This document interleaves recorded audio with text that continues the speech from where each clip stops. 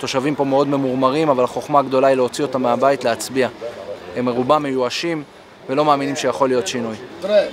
למה לא הלכתם להצביע בפעם אני שעברה? הולך להצביע. רגע, תיזכר שנייה, לפני חמש שנים.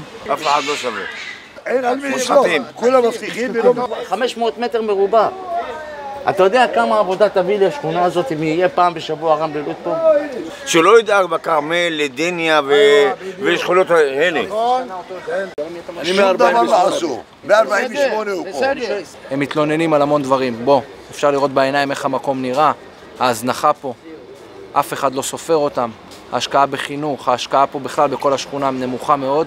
עשו חומה. ביניכם, איך זה נראה? אנחנו סוג ב', לא? סוג ב', לא? סוג ג'.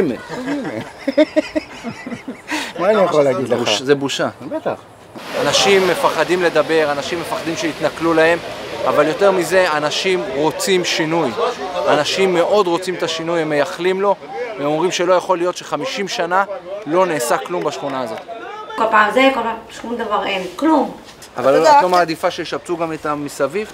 בוודאי. עסקים מפחדים להצטלם בגלל שהם אומרים שיתנכלו להם וינקמו בהם. אף עסק לא מוכן לדבר עם אה, התקשורת בגלל הדבר הזה. יש פה שלטון אימים. מה מפריע לך פה בשכונה? פה בשכונה, כן. שאף פעם לא מסדרים כבישים. אה, מבחינת אה, חוגים לילדים אין מספיק. חינוך. בתי ספר נראים על הפנים. כבישים על הפנים. בניינים על הפנים. עשר מטר מפה, הכל, משו, הכל חדש, הכל שדיד, כביש חדש. כביש אחד קטן מפריד לפה, לא מטפלים.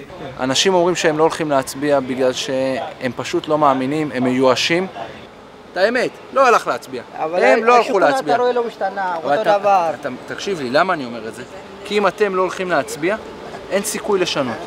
אנשים, אתה יודע, גם איבדו תקווה. אנחנו על הים, אבל אף אחד לא עושה בשביל- בשבילנו כלום. הדבר הראשון שצריך להשקיע זה בשכונות המוחלשות. החוזק והעוצמה של עיר נקבעת כהחוליה החלשה שבה. ואנחנו נמצאים באחת החוליות החלשות. אם אנחנו לא יודעים לטפל בחוליות החלשות בחברה שלנו, אין לנו זכות להתמודד לראשות עיר או בכלל להיות נציגי ציבור.